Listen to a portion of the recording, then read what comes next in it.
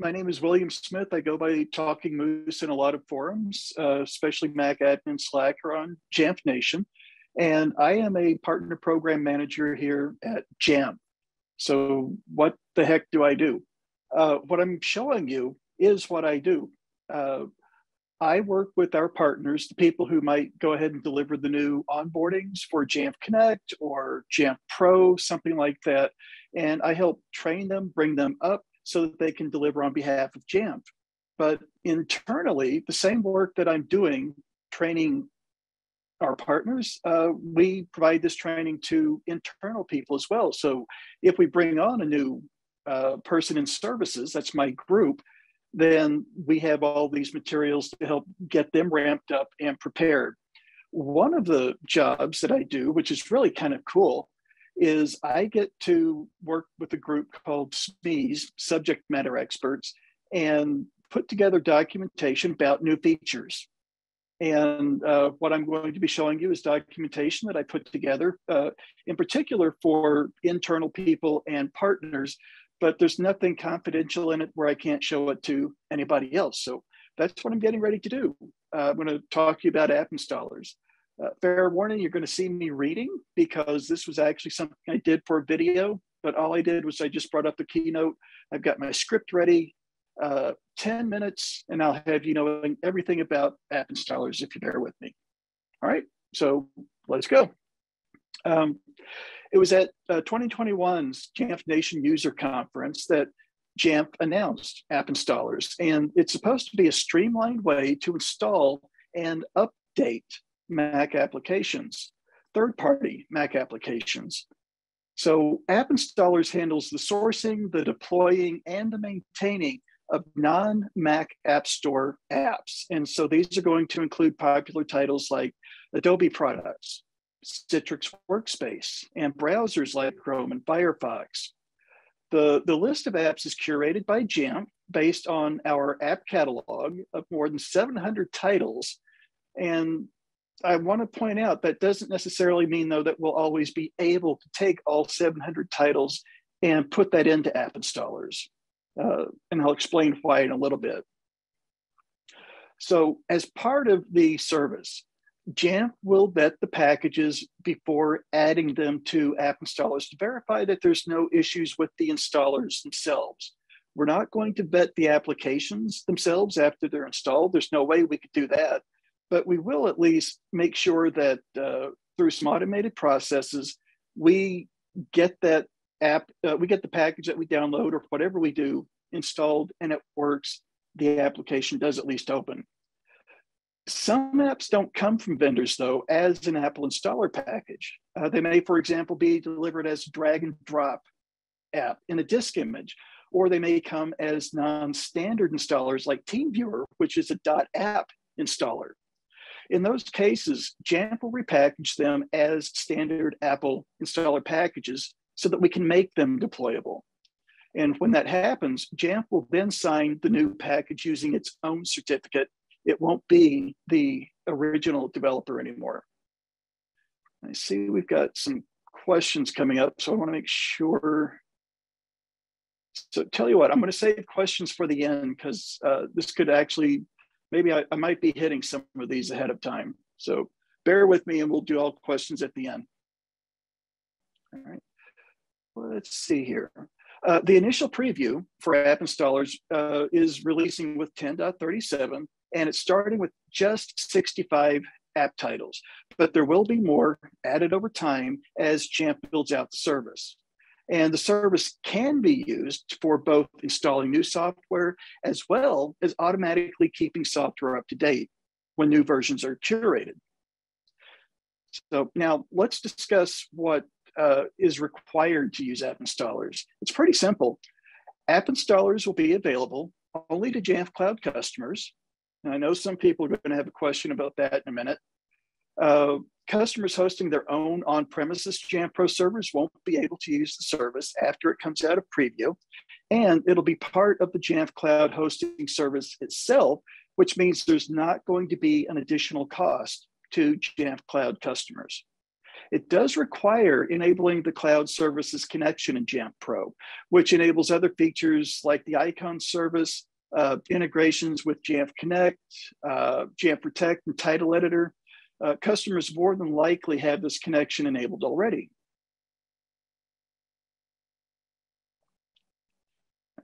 Here's a few things you should know about app installers. First, it's, it's using the install enterprise application MDM command to install packages. It's not using a Jamf Pro policy.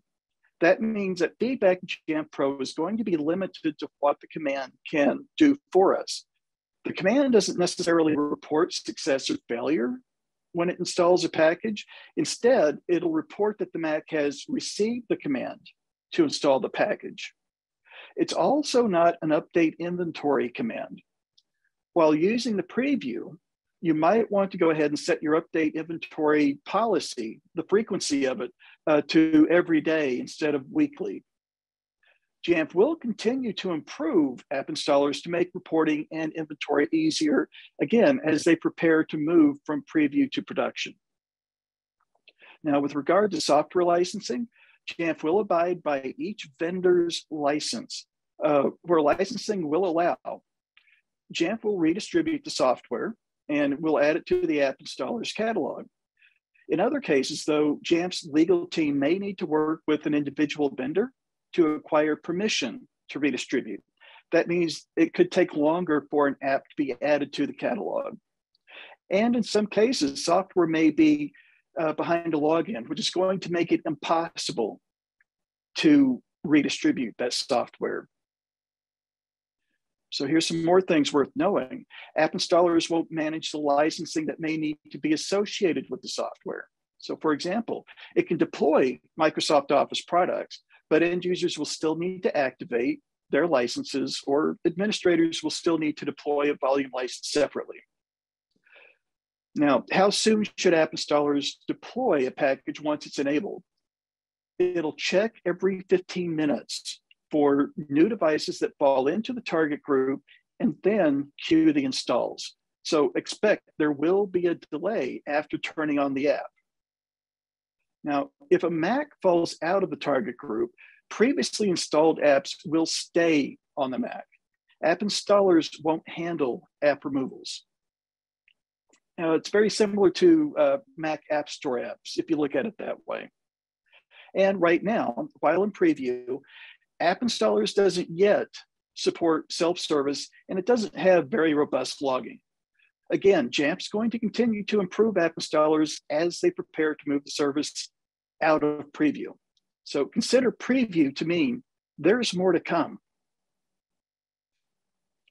Let's look now at how to prepare app installers and use it. This is what you would do in your environment. First, we need to ensure the cloud services connection is enabled in Jamf Pro. All right, what's the cloud services connection? It's that link between customers' Jamf Pro servers and the supporting cloud services that Jamf offers. So again, it enables the icon service for storing app icons outside the database and preventing bloat. Uh, it enables the Jamf Connect and Jamf Protect integrations for deploying those products to endpoints and it enables the title editor for use with patch management. If you're using any of those services, then Cloud Services Connection is already enabled, but let's see how to do it. In Jamf Pro, go to Settings, and you'll scroll down to the Global Management section to the Cloud Services Connection icon. You'll enter the credentials of a Jamf account tied to the organization, their Jamf Cloud account, and then you'll just click save. That's all there is to it. If it's already connected, this is what you're going to see, and there's nothing else to do. Everything's ready. All we need to do is add apps to our target Macs. Here, you'll click computers and you'll go to Mac apps. This used to be called the Mac App Store apps, but now it's not just for App Store apps, this is where you'll also access the app installer's catalog. You'll click the new button to add an app, and then you'll choose the Jamf app catalog and click next. And this is what you couldn't see, Chris, or some of you who were experimenting. But here's where you'll see the list of curated apps from Jamf. We currently have just 65 titles. So what I want to do is go to the second page and we'll scroll down to find Mozilla Firefox and we'll click add. What you see next is not a license agreement. These are just Jamf's terms and conditions where you need to acknowledge that you have a valid license with the software vendor to use the software, not with us. And you're simply taking advantage of Jamf's app installer service to deliver the software to your Macs. All right. You'll check the box that says, I understand and agree to these terms and conditions, and then click continue then you'll choose a target group that should either install the software or receive software updates. The target group is a smart computer group. It currently doesn't support static computer groups. And be aware that right now, you can only choose one target group. For additional information about the installer, you can click the View App Installer button. There's not much to see here right now, but uh, if there's anything of additional detail of importance, we have a place to actually show that to you in the future. All that's left to do is to turn on the app installer and click save. The new title is then going to appear in the list of Mac apps, and it reports that it's from the Jamf app catalog, not the Mac App Store. All right, now what? Remember, Jamf Pro will review and queue app installs about every 15 minutes. So I can't really demo the app popping up on a computer. I wish I could. Uh, and currently, we're not collecting any feedback from the MDM install command. And we really don't have a way that uh, we can wait for the software to appear. All we, all we have to do is wait for the software to appear on the Mac. That's about it. But what can we do to do to actually track that the app installers is working? Well, since we're using the install enterprise application command to install the package, we can view the computer's management history and we can verify whether the command is completed. If it's not completed, we'll actually find the install enterprise application command under the management tab instead, and it'll just report as pending. So look for that. And then on the Mac side, uh, this is from Dr. Dr. Emily. Uh, she is our IT person, our Jamf Pro person here at Jamf now, and she has this on her Mod Titan blog. So I think everybody is swiping this command from her blog. Uh, we can run this command on the Mac uh, to view the MDM command activity from the unified logging system. Uh, this command is uh, is documented again on, on her blog, Mod Titan. I think it's Mod Titan can't remember. Just look for Dr. Emily. And note that the last argument, the very end of this command, limits this activity to just within the past hour. All right. So if we run the command on a clean Mac that's never had this command sent to it, it's not going to return any, any information. It's going to look like this. But once the install enterprise application command has run, then we're going to see its details like here, Mozilla Firefox has been installed. Finally, let's look back at the screen from earlier because it states the most important thing that I can tell customers should understand about the app installers today.